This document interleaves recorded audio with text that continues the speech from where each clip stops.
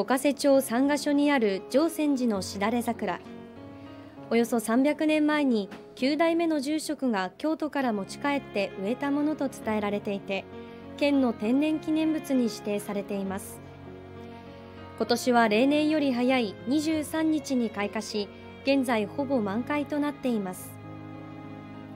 常泉寺には見頃を迎えた桜を見ようと多くの人が訪れ写真を撮るなどして楽しんでいました。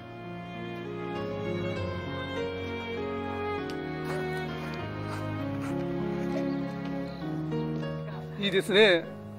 あのたくさんある中でもここがいいです。山形から天気も良くて入ってコントラストでいいなと思ってます。常泉寺のしだれ桜は今週末までが見頃だということです